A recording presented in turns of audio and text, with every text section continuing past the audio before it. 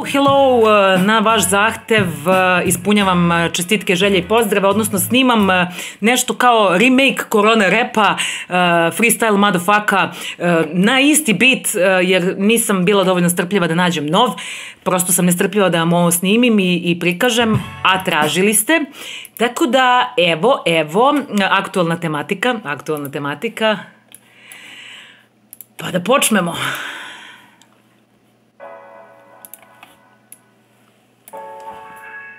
Oh yeah. Pohrlili Srblji da o šerpu lupe, valjda im ponestalo papira za dupe. Pa sa dupe usrano od revolta zveči, dok mu govno meko topli anus gnječi. Lupa Srbalj usrano u šerpe i lonce, jer tako će vođi da pomrsi konce. Ko će brže jače, ko će lupit bolje, potrebna je šerpa, a i malo volje. Kutlačom se zapinje, kašikom se bije, zastava se srpska sa terase vije. Afektivna lupnjava usranih dupeta, najzad da sloga, med srbljem procveta. Poleti petarda uz pokliče bojne, kad ogole srblji mišice te znojne. Zvuk metalac posuđa, ječi gradom celim, dok se valja govno u gaćama belim. A na supot šerparima tu su i bakljari, isto tako usrani poznanici stari. U njima je govno odavno zapeklo, zna im se i profil, zna se i poreklo. Čopor besnih bakljara popo se na krov, pa otpoče nova igra i bakljara zov. Urlaju bakljari, šerpađije psuju, sa susetne zgrade dimom dok nastruju. Šerpom protiv baklje, baknjom protiv lonca, svartu svakog mrzi, bez kraja i konca.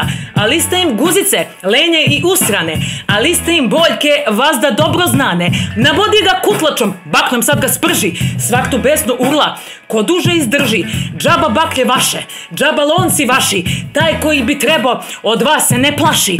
U prazno se puca, u prazno se bije, dok se ona zastava sa terase vije.